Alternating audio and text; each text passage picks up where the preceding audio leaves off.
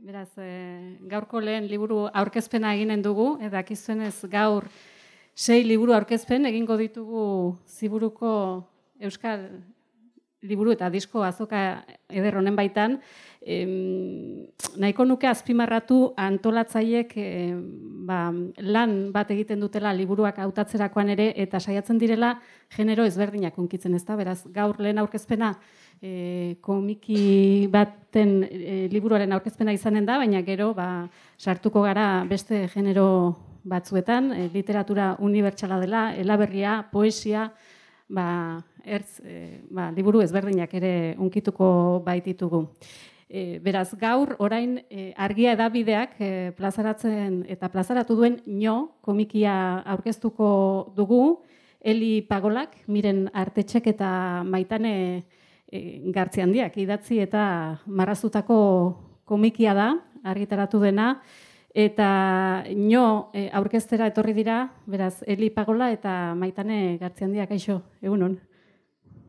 Eta beraz, zuekin liburu hau aipatuko dugu, e, irakurri dut bertso saioen bueltan, sortzen diren, edo sor daitezken egoerak e, eraikiz, eta emakume bertsolarian esperientziak erdigunean jarriz sortu duzuela nio izeneko e, komiki hau konta iguzu epikin bat nola sortu zen e, ba, komiki honen sortzeko ideia eta gogoa ere bai.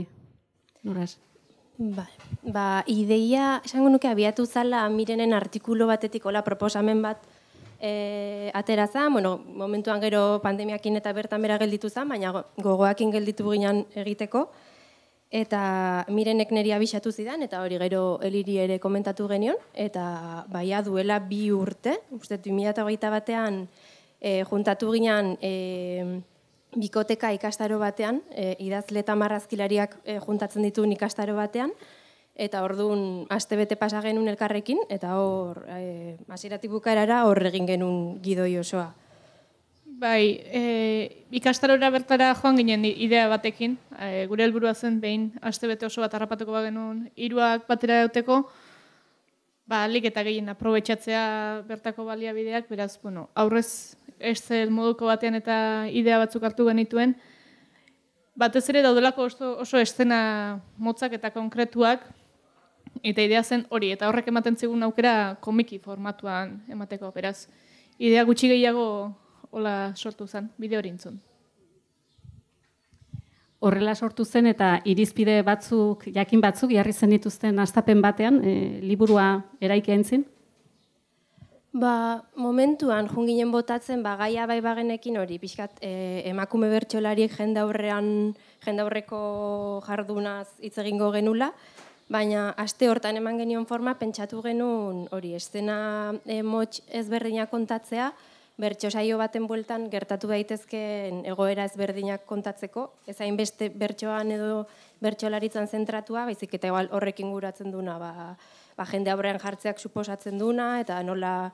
ba, nola e, emakume bertsolarik ja e, badara urte asko ba, bai ola estrategia txikik edo bueno, garatzen edo oso oso estena xumeak edo oso gauza xumeak dira, ez? Baina da gehiago hori ba, konplizitate keinuak, e,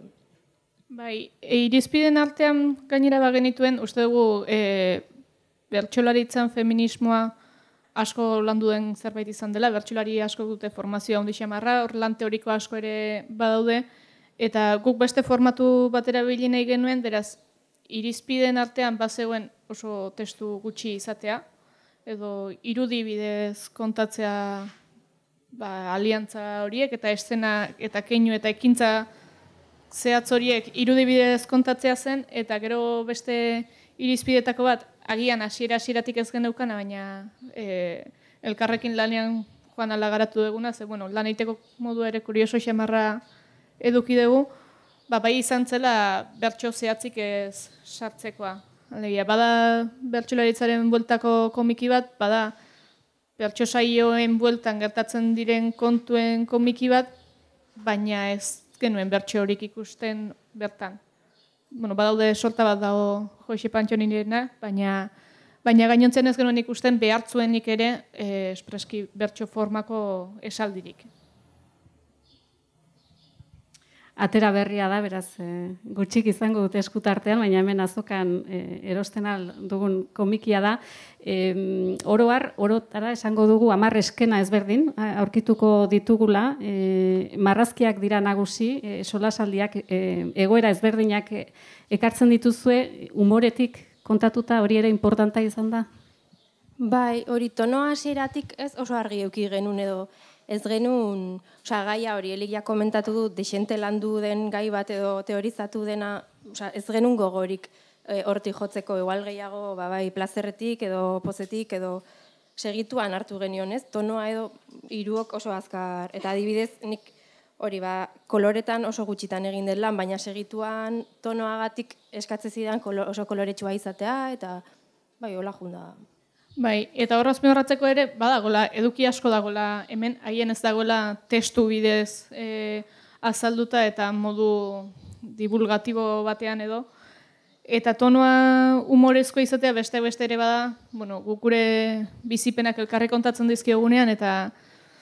eta bueno, hemen gertatzen diren estena horiek ez ditugula mineti bakarrik bizi, baizik eta, bueno, boien gaineko umoria eta gure arteko txiste eta kontakizunak ere badaudela eta gai garela gure buruari beste batzueri parra egiteko, beraz, horti dator baita ere komiki izate hori eta komiki izateak hori indartzeko aukera eman digu. Tonoa gutxi gora bera hortik erabaki genuen, baina bueno, hori ez horrek ez du esan nahi, gero eduki aldetik utxala denik edo ez dagoenik e, irudi horietan ikusten ez denik e, ba, esan nahi deguna esan dugu bertso saioen bueltan e, sortzen diren e, egoerak e, ekartzen dituzuela egoera ezberdinak horietako batzuk zeintzuk diren aipatuko zenizkiguke? Bueno, e, bat berizteagatik igual, bueno, danak hasi daitezke, eh? baina baina bai konparazioa egiteko badaude hiru eszena elkarrekin lotura izan dezaketenak, eh, amarrestenak dira independenteak, ez dago personaia zentral bat, ez dago ez da helburua pertsona baten bizitza kontatzea, baizik eta egoera batzuk deskribatzea, baina bueno, badaude konparaziorako balio duten hiru estena direla autobidaiak eta zenbat aldatzen den autobidaia hori ze egoeratan ematen den. Beraz, bueno, badaude hor e, ba, gizon artean egiten den autobidaia bat, e, beste bat, bueno, ba, gian generaletik parekideago dena, baina hor e, botere harremanak eta konbertsazioaren arlatzan hor laukan aldatzen dena, beste bate batez ere basaio ba, emakume gehiago dagoen saio baterako bidean edo gertatu daitezkenak, bueno, lako xe, danak dira, esan dena badukate puntu bat, aipatzeko igual denek ere ez dutela eskema berdina jarraitzen, ba, bakoitzak bere bereizgarria daukala, eta hori agien, marrazkitan ere desberdindu daiteken zerbait dela. Bai. Osea, estena bakoitzak igual ideia abstraktu batez edo hitz egiten du, ordun bakoitza irudikatzeko erabili dugu oso igual rekurso ezberdinak, ba Osea, egia esan, e, hori, beraiek estena kontatzen e, elkarrekin egin genuen gidoia, orduan beraiek botatzen zuten, ba, begira, situazio hau edo kontatuko dugu, eta momentuan junginen ni marrazten indoan, eta beraiek e, igual estena edo e, kontatzen eta bakoitza irudikatzeko batzuk zaiak ziren, ba, batean igual e, hitz egiten dugu, bat tonoa e, puntuka aritzen direnean, bat tonoa nola erabakitzen duten, eta igual batek e, bestea, ez, bestera egokitu behar den edo, eta hori oso zaia zen marrazkitara eramaten, bat genekin espresioan bidez edo, edo nola egin, eta igual, ba, hor, ba, hor erabaki genuen diagrama moduko bat egin, jolas moduko bat, ba, ze aukera posible dauden, ez, hor... E, Olako zerbait. Bai, ba, o, kapitulo hortan nola, gero beste baten erabili genuen beste rekurso bat, eta pixkanaka junginan bakoitzan ba, egokitzen ba, nola irudikatu genezaken.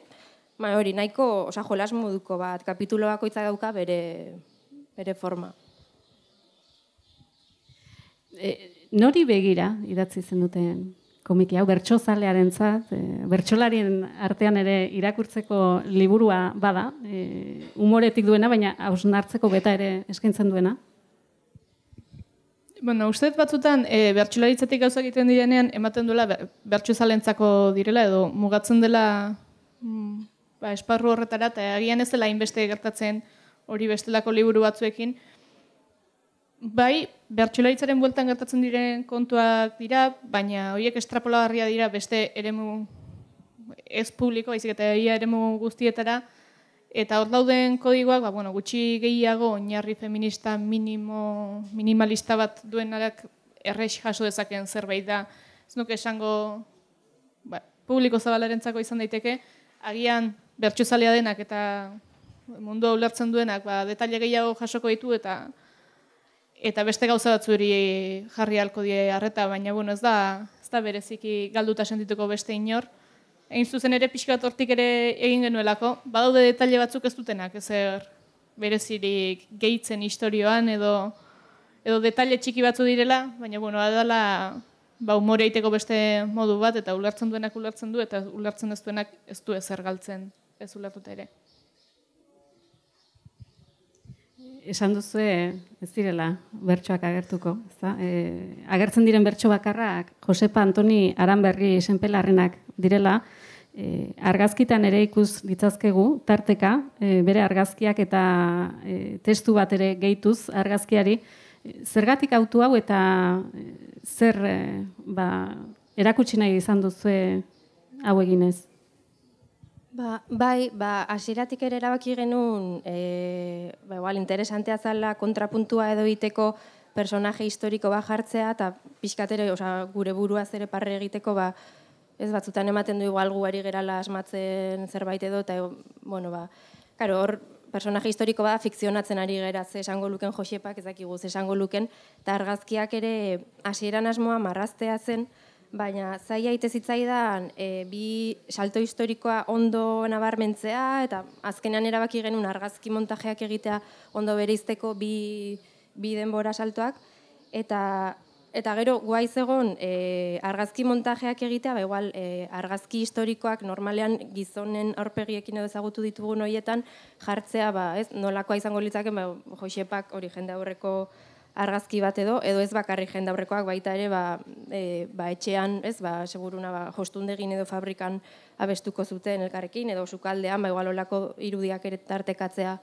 ba, pixkat, bueno, ere asmatu, ez, pixka fikzionatu indegu hori, baina polita, polita. Berari buruz, e, nor zen, Josepa eta Xiate, ezautzen ez duen narentzat? Bueno, hemen jarri dugu, ez dugu asko landu Joseparen irudia, etzelako asmoa bera lantzea, berari ez bai, bere irudia baliatzea, eta gero horra sira xamarrean gero modu desberdinean landu dugu, ez? Baina bazen helburua ere, bueno, agertzea ez garela e, ba, alduntzen ibili den lehen belaunaldia, ez da bakarra ere, ez da gutxiago ere, Eta hor beste andre batzuk bai e, baliatu behar izan dituztela, behaien estrategiak, beraien eremuak eta ba, bertxotan egin izateko eta Jose Pantxoni horietako bat izan zela. Beraz, bueno, hemen badago, e, jarri diogu lako xe biografia txikitxo bat, zakit merezi duen irakurtzea edo, baina, bueno, errenterian izan zen, errenteriarra zen, xienpela bertxolari ezagunaren hilo bat zen, bere amak ere bertxotan egite omen zuen, bueno, hortik pixka bat e, bertxo zaletasuna, eta gero jostundegian egiten zuen lan, eta bueno, bere bertso gutxi jaso izan dira, baina bai ere muoietan bertxotan egiten zela gorde izan dela. Bueno, pixkate irudi hori baliatu nahi izan genuen, eta bere bertxoetako tonoa eta ikusita ikusten genuen ba, pertsona pertinente bat, ba, guri herri eta pixka bat egiteko. Nio, izenburuari buruz zerbait, aipatu nahiko? Ba, izenburua ere, aste hortan e, bikoteka ikastaroan bertan pentsatu genuen, izenburua eta kontratzaleko testua de hecho, osea, ordutik hola mantendu ditugu. Eta, ba ez dakit, ba igual, e, bueno, igual, komikiakin, ba, onomatopeia olako ez joku bat egiten du, e, motxa da, indartsua, ez dakit nola okurritu zitza egun, baina... Nik ere ezagit oso ongi nondik ekarri genuen, bai, bueno, ere du pixka bat komikia egiten ibili garen modu ere, ba, bazela egiten joan. Ba, bagenukan ez urdura printzipal bat, baina nahiko aldi berean gindoa zen, elkarrekin geratzen ginen, bat ere maitenek e, marrazia egiterakoan, ba, bueno, bere, zure partetik ere egiten zenuen, baina guk idoia bintzat elkarrekin e, elkartzera behartzen gintuen, eta aprobetsatzen genuen pixkat maitenerekin ere egoteko, beraz, badaude gauza pila bat, e, etortzen zirenak apuntatzen genituela, eta ba, egokia zen, eta han bertan ere uste horrelako izen zerrenda oso motx batean baino agertuko zen, bait, baita ere oso herrima bertsolaritzarekin lotura eginda oso herrima rekurrentea delako baino bukatuko duzun bertso batean, eta ez delako bereziki ezer esateko ere, baina bueno, jola sortatik pixka bat. Niri galdera bukatu zaizkit, baina hemen eh, publikoan ere balin baduzu galderaren bat edo ba, aukera ere zabaltzen dugu, beraz, ez dakit, norbait animatzen den galderaren bat egiten edo nio e, komikiari buruz. Bestela, ba, placer bat izan da, zuek ezautzea, e, liburu bat gehiago, badugu hemen eskutartean eta zorionak indako lanagatik. Ba, mi esker.